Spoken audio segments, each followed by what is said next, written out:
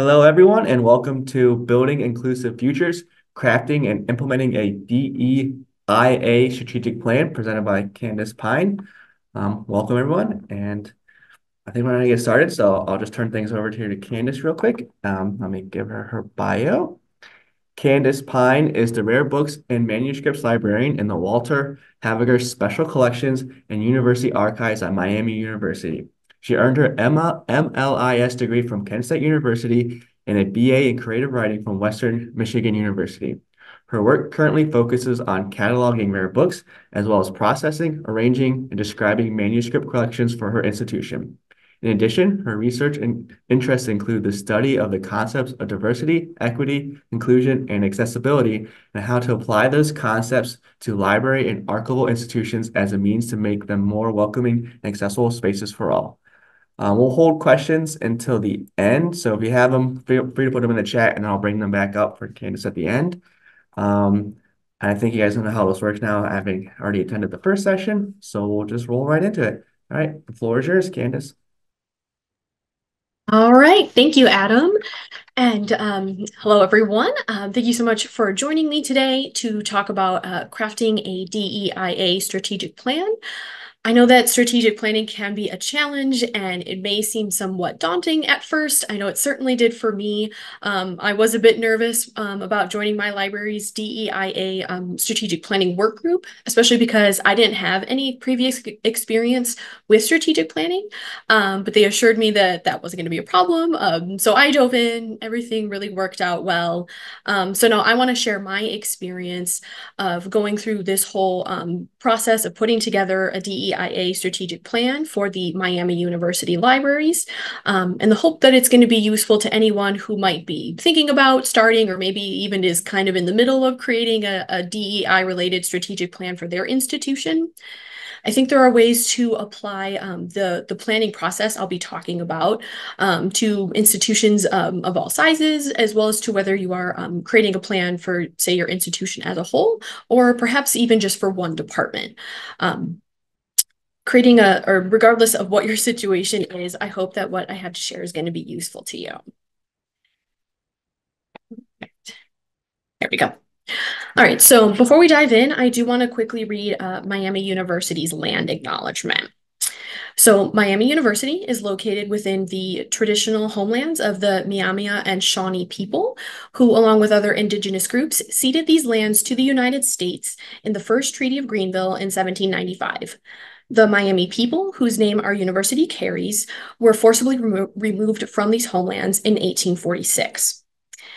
In 1972, a relationship between Miami University and the Miami tribe of Oklahoma began and evolved into a reciprocal partnership, which included the creation of the Myaami Center at Miami University in 2001.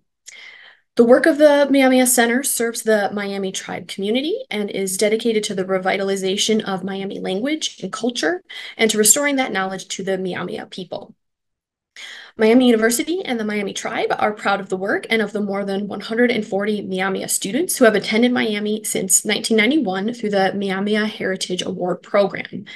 And for uh, more information about our land acknowledgement, you can visit our website. Got the link up there. All right, now I'm actually going to talk about the library's diversity statement um, in a little bit, but I also like to include it at the beginning of presentation. So you're getting a sneak preview of uh, part of this diversity statement now. Um, so it says, in alignment with Miami University's statement on diversity and inclusion, the Miami University libraries are committed to fostering an environment where the highest ideals of diversity, equity, inclusion, and accessibility support our employees, students, staff, faculty, and university community at large. DEIA efforts are viewed as fundamental to our mission and integral to our service model on campus and in the broader community. We are an intentionally open and inclusive community that embraces the full spectrum of human attributes, ideas, perspectives, and cultures. We aspire to high levels of intercultural competence to serve our community and actively work to ensure the tenets of diversity and anti-racism influence all aspects of our work, including as it relates to our collections, services, spaces, and people. And um, for the full statement, because there is a little bit more, um, you can find that on our website. And um, again, the link is on the screen there. So to start off, I'll set the scene for our DEIA strategic plan work group. So the Miami Universities has a um, just a general strategic plan, and that's called Catalyst. Um, and that's updated every academic year with new goals and initiatives. And so for the 2022 through 2023 year plan, um, one of the initiatives was to form a DEIA uh, strategic plan work group. And so the charge for our group um, was pretty simple. It was just to write and begin to implement a DEI strategic plan for the libraries. Um, and you may have noticed that I have been saying DEIA strategic plan while the work, work group was initially called the DEI strategic plan work group. Um, and there is a reason for this, and I'll get to that shortly. But to get back to how the group worked, um, so two people were appointed to lead the work group, and then three more members were identified and invited to serve. So that's how I personally joined this work group.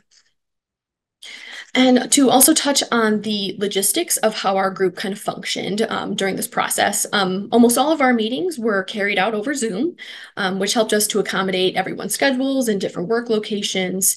And we organized all of our planning documentation um, just in a shared Google Drive. Um, so that way we all, we all had access to everything we were working on, and we could easily collaborate on various documents, which really came in very handy. And before I go any further, I want to acknowledge all of the fantastic colleagues who I got to work with on this project. Um, the leaders of our work group were Elizabeth Kerr. Um, she was our um, former coordinator of strategy assessment and DEI. Um, she's actually no longer working at my university. She started a new position at a different institution earlier this year, um, but we're so grateful for all of her help and work on this. And our other leader was Ken Irwin, who is one of our web services librarians. And then the other three members of the work group um, were uh, myself, of course. So I'm from the Special Collections and University Archives Department. Um, we also worked with Jenny Presnell, who is a Humanities and Social Services librarian, and Elizabeth Starman. She's a library associate who works in our Technical Services Department. Um, so you can already see that we had good representation from around the library, which was definitely a great benefit in this whole process. Did we get started? Um, well, we needed to figure out how we wanted to tackle this project. Um, so we had some more like big picture discussions to get us going. We talked about how important it would be to take advantage of the different perspectives um, that everyone brought to the work group. We all have different knowledge and experiences with the library, um, so we were all encouraged to share our unique thoughts and ideas. And one of the first goals that we discussed um, was to try to deepen the diversity of our collections and of the teachings um, that the librarians do. That was something that was really important to all of us. That gave us something to sort of focus our efforts on as we started working, which was helpful. Um, and then I personally also felt um, strongly about adding accessibility as another one of the main tenets um, of our strategic plan. It's vitally important that we consider accessibility in our spaces, collections, and services when we're making a strategic plan like this. Plus, I wanted it to be like immediately obvious that accessibility was going to be a part of this plan and that no one felt like this important issue um, was being left out. Um, so in one of our first meetings as a work group, I, I brought this up and my fellow group members felt that this was important as well. So um, as I kind of briefly mentioned earlier on, we had a slight name change right away. So we went from being called the DEI strategic plan to the DEIA strategic plan. And another thing that we discussed um, was that we wanted to include an explicit definition of diversity in our DEIA strategic plan. We wanted to make sure that it was completely clear what we meant by diversity when we use that word in our final strategic plan, uh, so there could be kind of no confusion about it. And then one of the most important things that we talked about was that we wanted to develop real action items to put into the strategic the strategic plan that would lead to actual changes. Um, there was some initial worry that we would just write some sort of nice sounding statement that would never really go anywhere or do anything. Um, and that's definitely not what we wanted.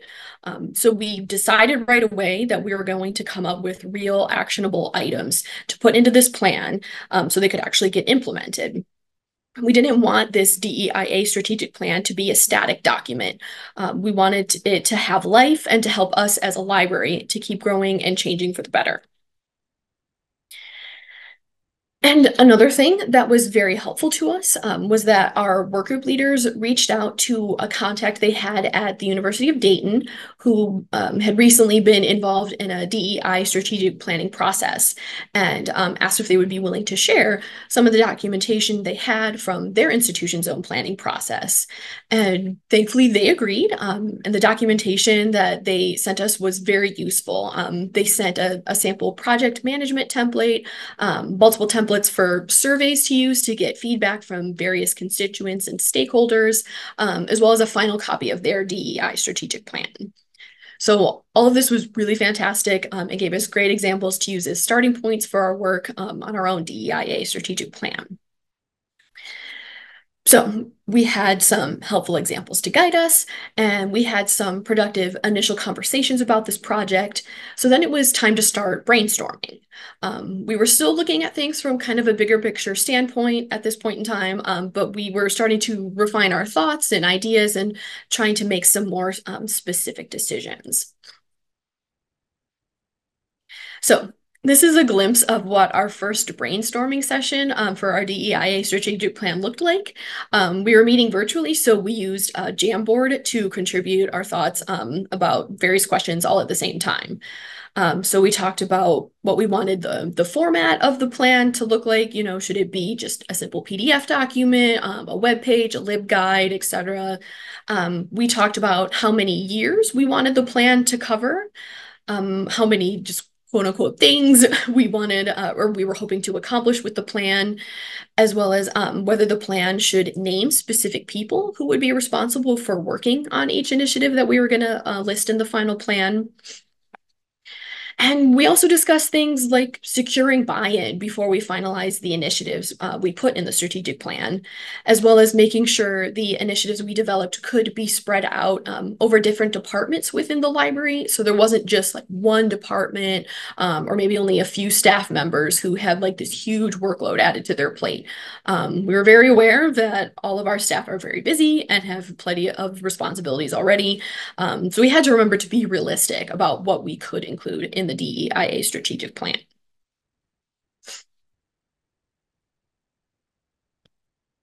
So another thing that came up in our discussions was writing a diversity statement for the library. Um, so remember how you got a sneak preview of that statement earlier? Um, well, now we're going to talk about it. So Miami University has a, a, diversity statement, but we thought it was important to have our own specific statement to the libraries that we could tie our DEIA strategic plan to. Um, so that was one of the first tasks that we started working on um, because we wanted to have that locked down so it could guide us. Um, However, we didn't want to take up the whole uh, work group's time on that. So um, at this point, we actually split into two groups so we could work on two different tasks at once. So um, I worked on developing the diversity statement um, with Elizabeth Kerr, one of our work group leaders, and the other three members of our team started working on drafting surveys that were going to be sent out to various constituent groups to get their thoughts about various topics um, that we wanted to address in the DEIA strategic plan. So we'll get to that too, um, but first I'm going to talk about um, writing our diversity statement. So I mentioned before that we wanted to have an explicit definition of diversity in our DEIA strategic plan, um, but where it actually ended up was in our diversity statement, um, which is also linked in our final DEIA strategic plan. And so we we ended up deciding to use uh, Miami University's existing definition of what constitutes as diversity, um, because we did feel that they ha already had a very robust definition. Plus, we thought it would be a good idea to have that sort of continuity um, with the university. However, aside from that definition, we still had to write a whole statement for the libraries. Um, and so we started out by looking to other institutions for inspiration. Um, after all, why completely start from scratch if we don't have to? Um, so we had a list of um, what Miami University feels are its um, peer and aspirational institutions. Um, so we researched their specific diversity statements if they had one publicly available on their website, and that kind of helped get us started. So as we were, you know, reading through all of those various diversity statements, um, we started making a list of what we thought the strengths and weaknesses of each statement were. You know, what we liked, maybe didn't like, or perhaps thought could be done a little bit differently.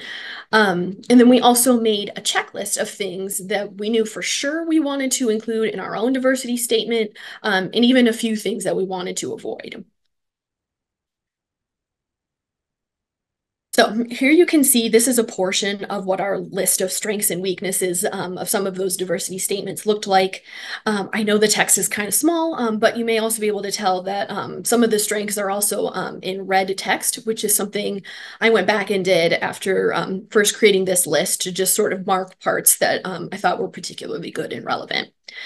now, this is a pretty simple list, but it really was a huge help in keeping us organized.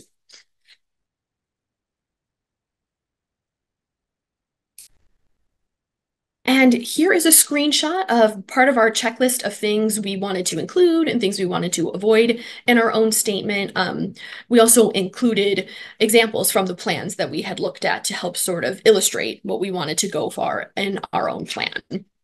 And my apologies again that this text is uh, kind of small and probably not very easy to read, um, but like the last one, it's a very simple document um, which is also kind of the point. Um, we wanted to keep things simple and easy as we were working, um, and I certainly recommend to others to do the same. Um, I think keeping things as simple as possible is always going to save you time.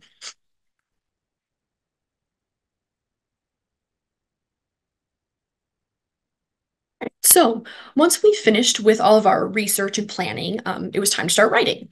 And as I said before, there were two of us who were working on developing the diversity statement. Um, and we decided to divide the work of actually the writing the statement um, between the two of us, um, which ended up working out very well. Um, we each wrote our own assigned sections, and then we shared those with each other so we could give each other some suggestions and feedback.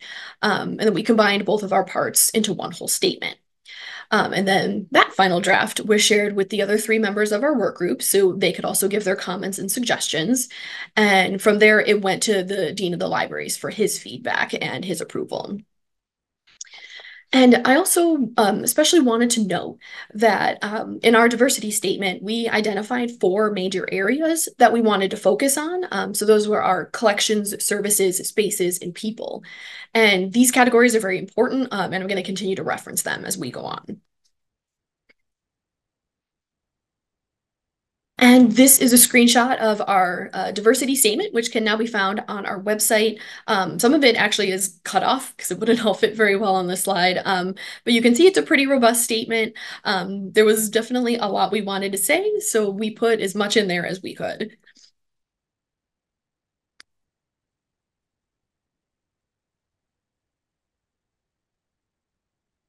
All right, so next I'm going to talk about the surveys um, that we developed and sent out to various constituent groups to get their feedback about the library.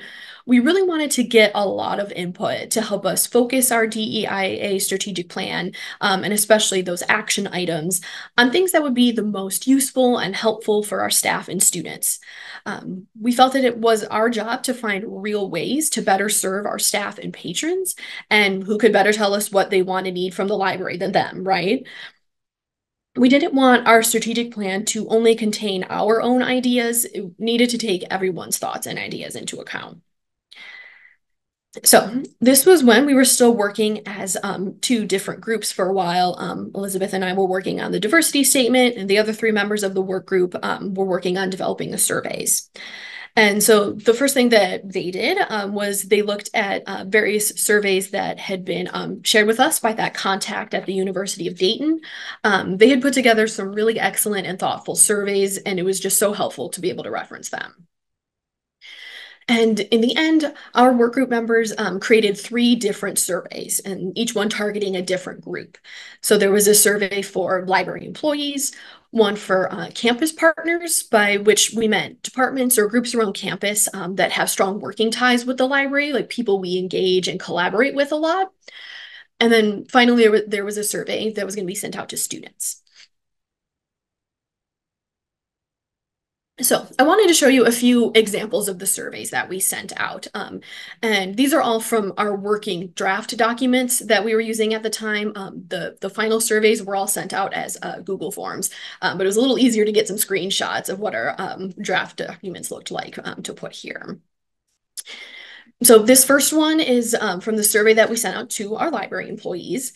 And Elizabeth and I had actually finished working on the diversity statement in time to uh, jump back on with everyone else um, and work on the library employee survey, um, which was actually the last one we worked on. Um, but I was very happy that we were able to jump back in um, and work on this one because it's definitely the longest and most robust survey that we sent out, um, as our staff obviously have the most familiarity with the library and its inner workings.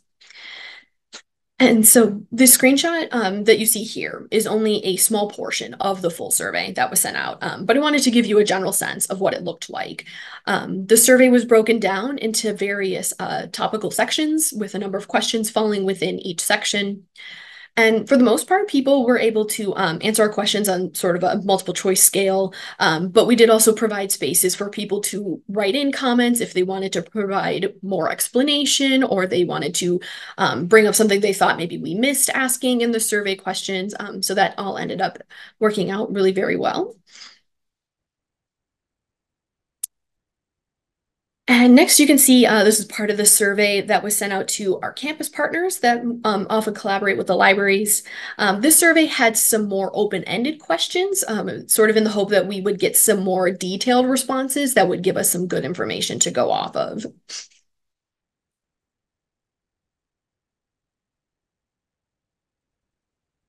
And finally, here is what part of um, our student survey looked like. Um, for, for the student one, they were able to answer questions again on more of that sort of multiple choice sort of scale, um, where which we thought would make it simple and quick for students to take, which we thought would hopefully result in more students taking the survey.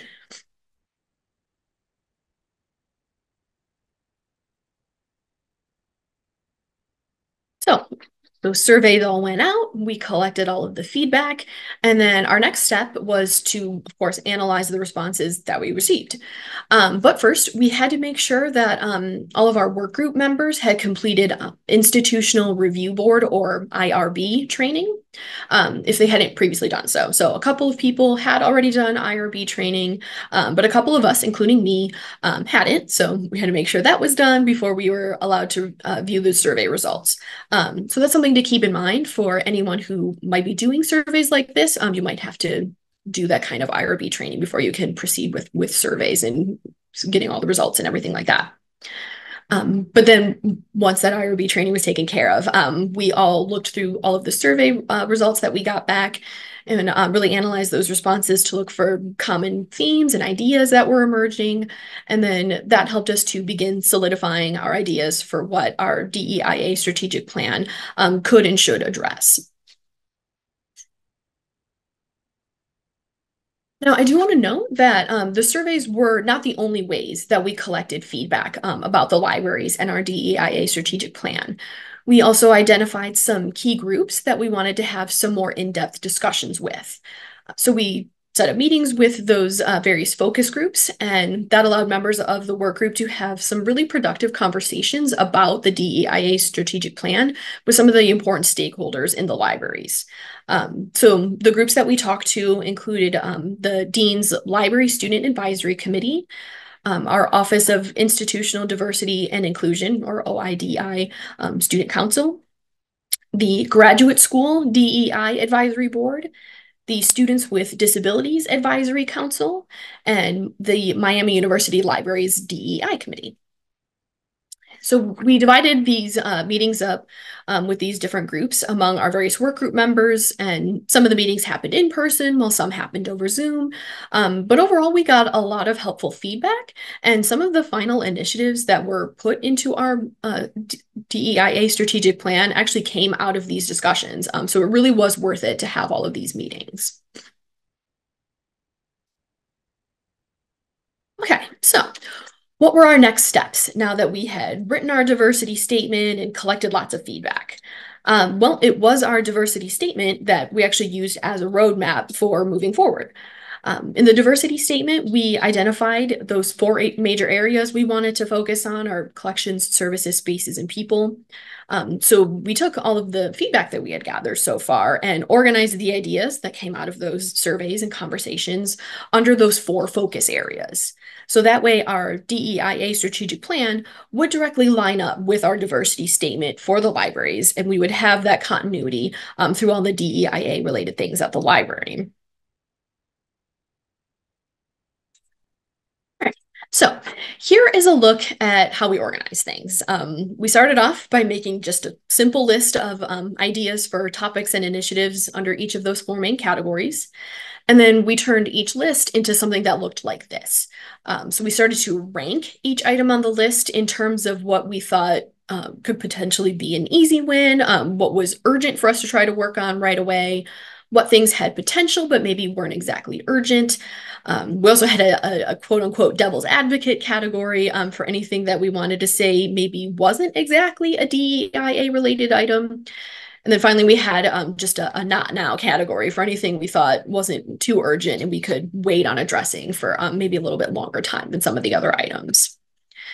And making these lists of items and ranking everything in terms of urgency was incredibly helpful. Um, it really helped us to start refining our ideas and narrowing things down to what final initiatives we would put into our final um, DEIA strategic plan. We had our, our ranked lists for each of our four uh, main focus areas. We combined those lists into one big spreadsheet that looked like this. Um, and this way we could see all of our ideas for each category uh, right next to each other and, and start gaining a sense of how our different ideas could maybe work together in the plan.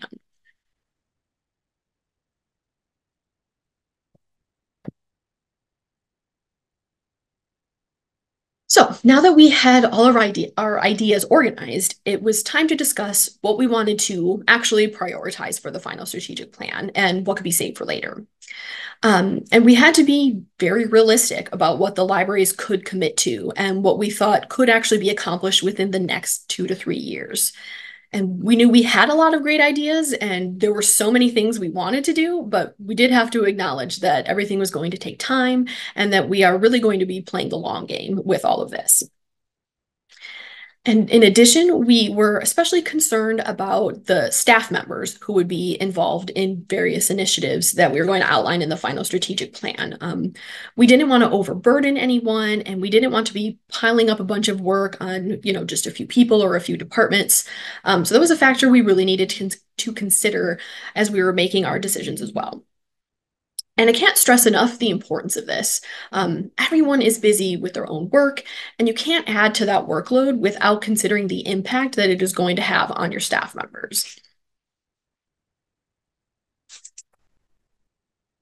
So, after all of that planning and discussion, we finally identified what initiatives we wanted to include in the DEIA strategic plan, as well as who should be involved in each initiative. Um, before we officially finalize anything, um, it was important that the, the members of the work group had meetings with all of the people we wanted to be involved in our various initiatives it was essential for us to do this because we needed to make everyone aware of what we were planning and how we wanted them to be involved. Um, we didn't want to have the, the final strategic plan come out and have the initiatives be a surprise to the people that we wanted to assign to be involved. Um, so we had conversations with everyone to let them know about our plans, and we asked for their feedback on our ideas um, so they could help us refine those initiatives even further. And these meetings ended up being very helpful and productive. Um, and in the end, we felt like we had gotten buy in from everyone that we talked to, um, which was fantastic. So after speaking with all of those staff members and getting their feedback, um, the work group members then worked on writing the final initiatives that were going to be included in the DEIA strategic plan. And the way we went about doing this was um, we divided up the work between us. So we had settled on five initiatives, and there happened to be five of us in the work group. So each of us wrote one initiative. Plus, each person was assigned to edit one other person's section. So that way, each initiative was already in like pretty good shape by the time we met as a whole group to go over all of the initiatives together. So having done a lot of uh, the legwork already meant it saved us time when we all met together. And another couple of things I wanted to note um, about our initiatives is that um, they did list the specific staff members who would be involved in each one. Um, and as I talked about before, we had already had discussions with those people, so they knew what was going on. Um, but we thought it was also important to um, put it all in writing to just kind of make it official. And furthermore, we also put in projected timelines for each initiative um, when it would be worked on um, and or completed by. Um, we really wanted to give a specific time frame so people would have that incentive to start working on these things as soon as possible. So to help illustrate what I mean when I talk about how we wrote out each of these initiatives, um, here's a draft of one of them. This is the initiative that um, I wrote regarding creating and implementing a standard accessibility training for all library employees. And each initiative was broken down into parts like this. So there's an executive summary, an overview of the initiative, and then, of course, the specifics of the initiative.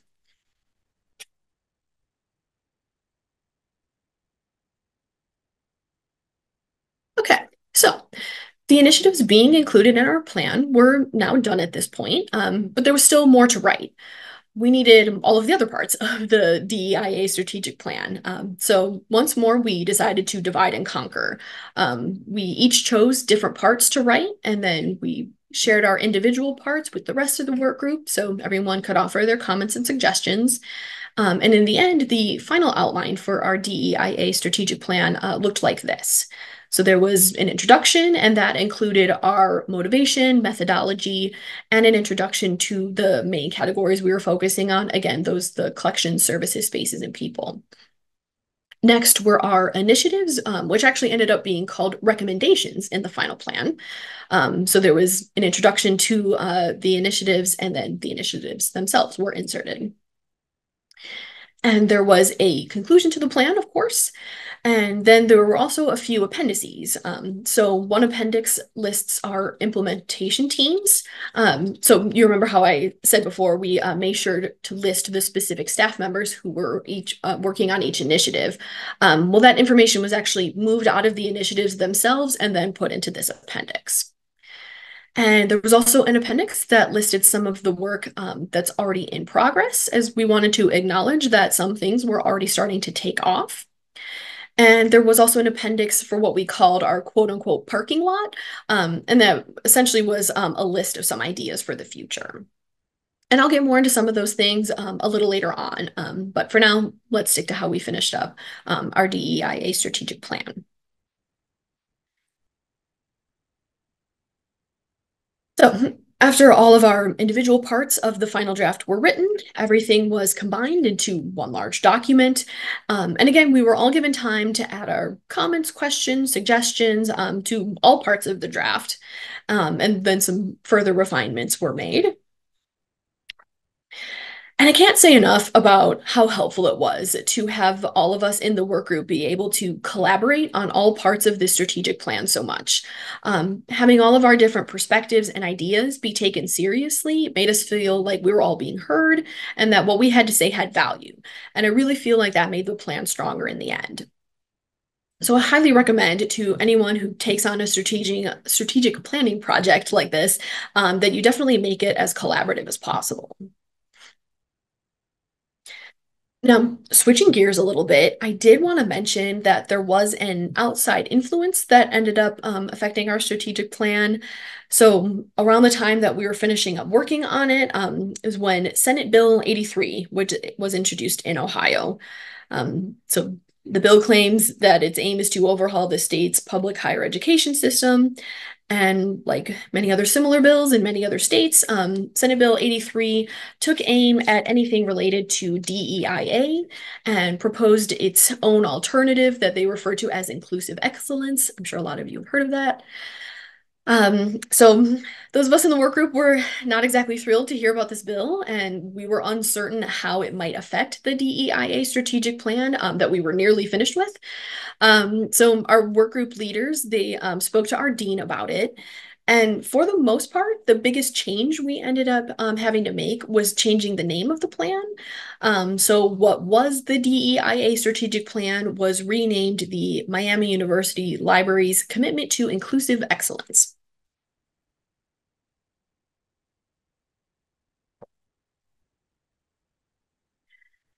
So we made that name change, and then we shared our final draft um, of that with the dean for uh, the dean of the libraries for his comments and approval. Luckily, he didn't have too much feedback for us at this point, and we got the approval fairly quickly. And once we had that, the final document was formatted and officially submitted, um, which also officially ended our work group. But I'm not going to stop there. So I wanted to share that some of the work recommended in the DEIA strategic plan is already underway. Um, so we have some diversity audits planned for um, some small portions of our collections, um, including our children's collection and our leisure reading collection. There's also um, work being done on policy changes and updates to help improve staff hiring, onboarding, and retention. Um, this topic in particular is actually incorporated as an initiative um, that was built into this year's uh, Catalyst, which, if you remember, is the Miami University Library's strategic plan. Um, so that work is going to be ongoing for some time. Uh, work has also begun on creating a sensory room within our makerspace. So that was an idea that came out of our conversation with the Students with Disabilities Advisory Council. Um, those students shared that having a sensory space available to them in the library that they can go to if they're feeling overwhelmed and need a quiet place would be very helpful to them. And our staff really wanted to get started on that right away. Um, so that project actually got started fairly quickly.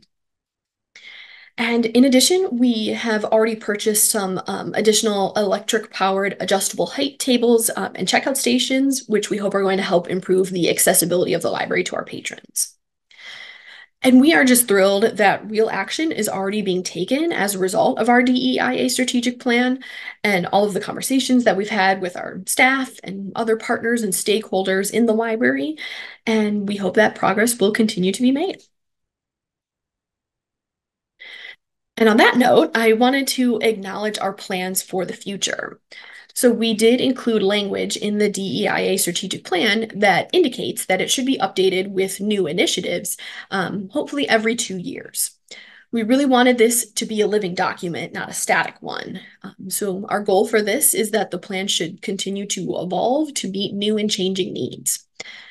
And as I mentioned before, there is so much we want to do, and everything is going to take time. So for now, we need to be patient and let this be just ongoing or incremental work that should one day result in some real systemic changes. And we have tried to provide some guidance in this area already. Um, I mentioned before that one of the appendices in our strategic plan is our uh, parking lot, which is basically a list of ideas that we couldn't fit into the final strategic plan, but we still wanted to document them. It's our hope that future versions of this uh, DEIA strategic plan could include and expand on some of the, the ideas um, that we came up with. We thought it would be useful to future staff who may work on updating the strategic plan. You know, we wanted to help them by giving them sort of a jumping off point to start from. And it remains to be seen if this will happen, but we did our best to make um, things easier for future work on this plan. And finally, I wanted to end on some of the key takeaways we had um, for this whole DEIA strategic planning experience. So, first of all, open communication and collaboration are vital. Um, and this goes for within the work group as well as outside of it. Um, the members of the work group, we all discussed everything that we did. Everyone was encouraged to share their ideas, and all of our suggestions and points of view were respected and taken seriously. But of course, the work that we did was also greatly influenced by many other people, um, our staff, students, library partners and stakeholders, etc. Um, everyone's input made a difference, and ultimately that made the final strategic plan much stronger. Next, set clear goals early on in the process. Um, this will really help you to have a vision and keep you on track. Um, And that's not to say that things won't change along the way and you may have to readjust a bit, um, but it was so helpful to us to have made a plan from the beginning. You know, things like we wanted to have real action items in the strategic plan. Um, we wanted to add accessibility as a main tenet of the plan. Um, we wanted to write a diversity statement to guide us, etc. Um, if we hadn't decided on doing things like that early on, our DEIA strategic plan would have looked very different. So I definitely advocate for setting clear goals and a plan as early on as possible. Also, make sure you take advantage of everyone's experience, expertise, and point of view. Um, don't assume that you know best or that you know everything that's going on in the library because chances are you don't. Um, but when you bring people together from different areas of the library or even from within one particular department, um, you'll get a much fuller picture of what things are like, and you'll get a lot more ideas about how things can be improved and enhanced. So make sure you talk to and listen to as many people as you can.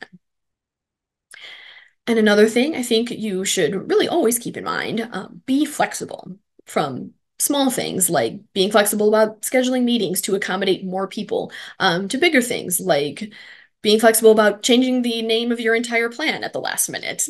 Um, you never know what sort of hiccups or challenges might come along, um, so it's always important to be flexible so you can keep things moving forward. And finally, take other people's needs into account. I really can't stress this enough. Everyone is already busy with their own work, so you need to be careful not to overburden them. When you're working on a strategic plan, I think it can be easy to get caught up in all of the things you want to accomplish and you want to get started on them all right away, um, but it's not necessarily realistic it's important to remember that real people are going to have to take on the tasks that you're planning. So you need to make them aware of what you're planning, get their input about it, and be pragmatic about how and when the tasks are going to get done. Um, otherwise, if you don't do that, you run the risk of things just not getting done, um, as well as possibly alienating those staff members who might start struggling with trying to take on the work that you want to assign to them. Um, so always prioritize your people first. And on that note, I will go ahead and wrap things up here. Um, if you have any comments or questions to share, um, go ahead and, and do that now. Go ahead and pop all of that into the chat. Yes, thank you, Candace. That was enlightening. Um, yeah, like I said, put the, or like Candace said, put the questions in the chat and I can read them for her. Um, in the meantime, while you're thinking of some great questions, I have a few of my own.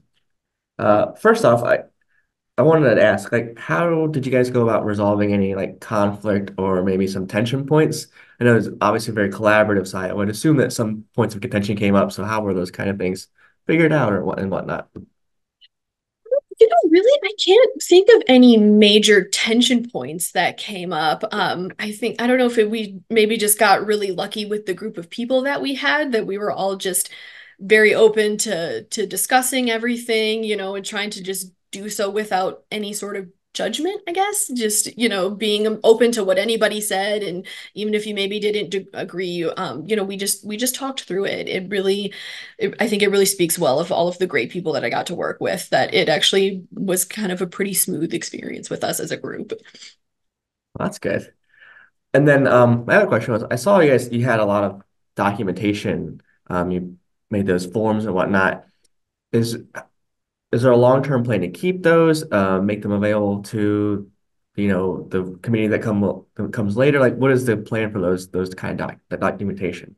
Yeah, yeah. So yeah, all of that um is saved in in a in a Google Drive. Um, so you know we we have access to that still. Um, and I think if they have you know future people come in who are going to work on updating the plan, like I talked about with some new initiatives and things like that, um, that they'll, they'll be given access as well um, to all of that stuff, so they can you know they can see what what we've got, um, what we've saved, and or like I mentioned, some of them was like lists of ideas for the future and everything.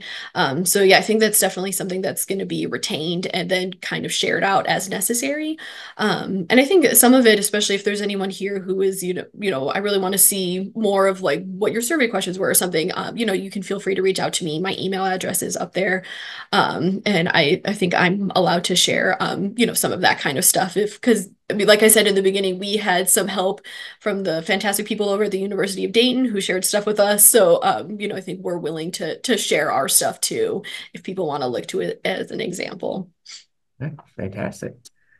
What was like, um, how, how much feedback did did you get from the students? I know that maybe it can be harder to get, you know, people engaged, you know, especially not inside the library. So how was that? Right.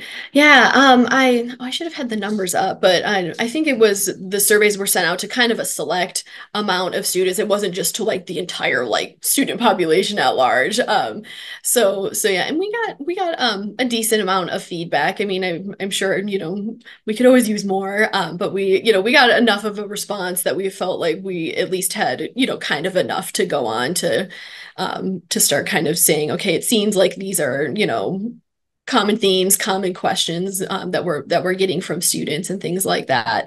Um, you know, we figured the people who took the time to respond to the survey were the ones who cared the most and were going to give us good answers. So um, we we we took it, what we could get. That makes sense. And then my final question was, um, is there a way for people to continue providing feedback? Is there like new mechanisms for people to like comment on the plan and how things are moving forward, like outside of just the group that worked on it? oh yeah. Um, actually, I have to double check. I think the intention at least um, was that we would um, be able to have like a link up on the page where we have like um, our diversity statement and and things like that where um, people could um, you know contact us um, if they wanted to to you know share their thoughts or whatever they might have on that. i'm seeing if I can bring it up very quickly, but um, I don't want to take too much time doing that, but um, but yeah, because yeah, we do want to have people, you know, still f feel free to, you know, contact us and say, you know, I have this this question about something that you put, or you know, I I want to know more, or I have new ideas and things like that. Um, so yeah, I think it's definitely if we don't have that, it's definitely a good idea um, to have a good mechanism to have in place. All right, thank you. Um, any questions from uh chat? Anyone? Get your last chance, or is everyone just ready for lunch? Which completely acceptable.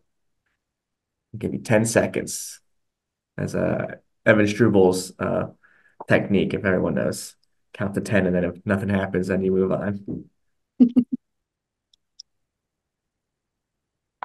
All right. Um, seems like we're all good. So thank you. Um, thank you, Candace. Wonderful presentation. Thank you. uh, we'll go to lunch now. Let you out early.